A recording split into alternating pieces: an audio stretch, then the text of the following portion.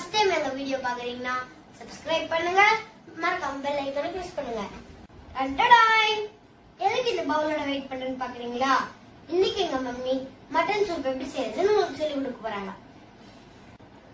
Wait wait wait wait wait நீங்க வெஜிடேரியனா இருந்தா உங்களுக்கான சூப் அடுத்த வீடியோல வந்துட்டே இருக்கு.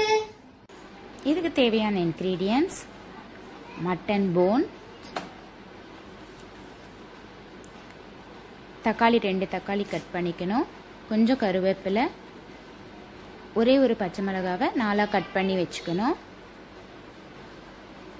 கொஞ்சமாக கொத்தமல்லி. அப்புறம் பெரிய வெங்காயம் ஒன்று பெரிய சைஸில் கட் பண்ணிக்கணும். குட்டி பீஸ் லெமன்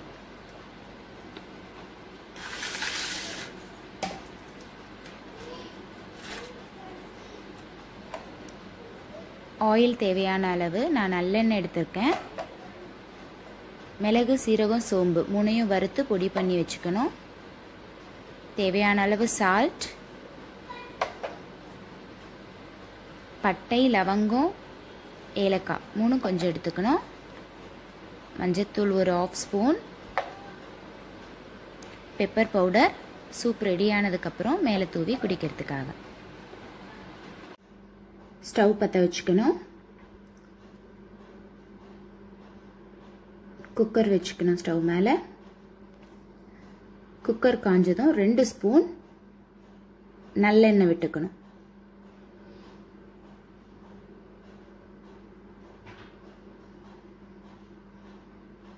அதில் பட்டையில் லவங்கத்தெல்லாம் ஆட் பண்ணிக்கணும். ஆனியன் ஆட் பண்ணணும்.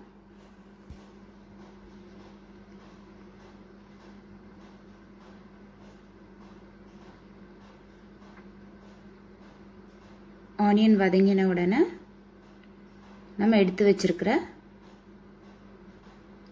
கருவேப்பிலையை சேர்த்துக்கணும். லைட்டாக வதக்கி விட்டுட்டு கட் பண்ணி வச்சிருக்கிற தக்காளியையும் அந்த ஆனியனோட சேர்த்துடணும்.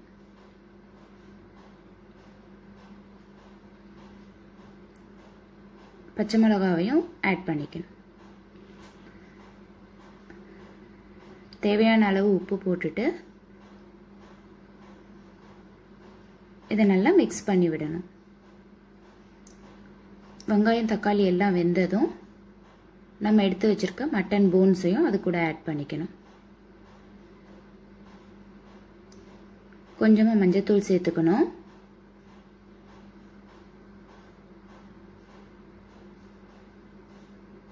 அதுக்கு அடுத்தது நம்ம ரெடி பண்ணி வச்சிருக்கிற பவுடரை டூ ஸ்பூன்ஸ் ஆட் பண்ணிக்கணும். மிளகு சீரகம் சோம்பு மூணையும் அரைச்சி பவுடராக்கி வச்சுருக்கோம். அது ஒரு டூ ஸ்பூன்ஸ் ஆட் பண்ணிக்கணும்.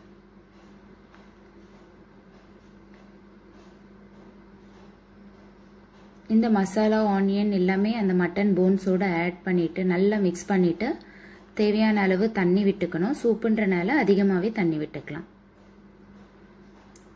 தண்ணி விட்டதுக்கப்புறமா கொஞ்சம் நல்லா மிக்ஸ் பண்ணி விட்டுட்டு த்ரீ ட்ராப்ஸ் லெமன் ஜூஸ் விடணும். அதுக்கப்புறம் குக்கரை க்ளோஸ் பண்ணிவிட்டு விசில் விடணும். இது மட்டன்றனால ஃபோர் டு ஃபைவ் விசில் வர வரைக்கும் வெயிட் பண்ணணும். இப்போ விசில் வந்துடுச்சு.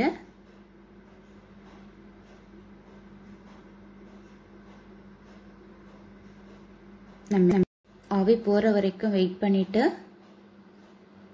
இதுக்கப்புறம் நம்ம குக்கரை ஓப்பன் பண்ணிக்கலாம்.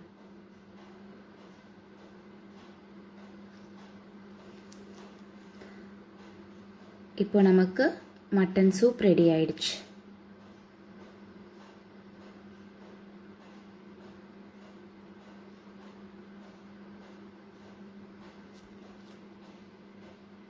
இதுக்கப்புறம் மேலே கொத்தமல்லி போட்டுக்கலாம்.